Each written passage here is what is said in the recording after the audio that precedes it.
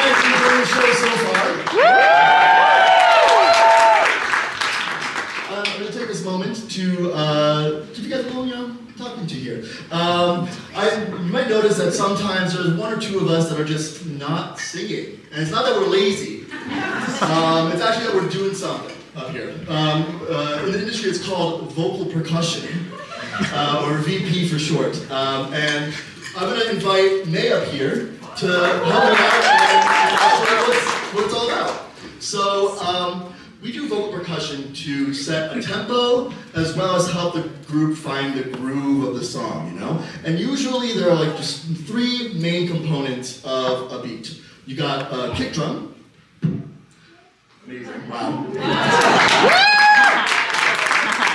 you got a snare or a, a, percu- a a stronger percussive element, and hi-hats. So now, the most important one, as you can hear. Um, and now, co- combine all those uh, three elements together, and you get a group.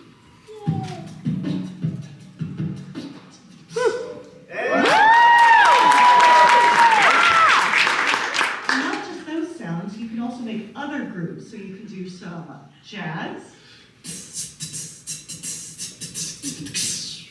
Or some Latin beats like reggaeton. Some stylistic ambient sounds. Something like noise.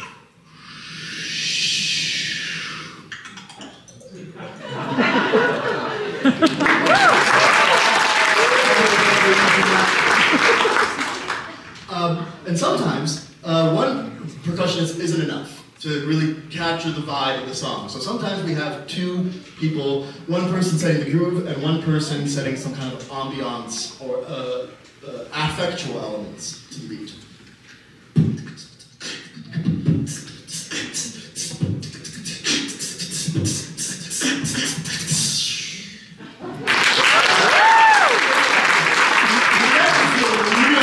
Like May level good, you can spice it up a little bit and, you know, have fun with it.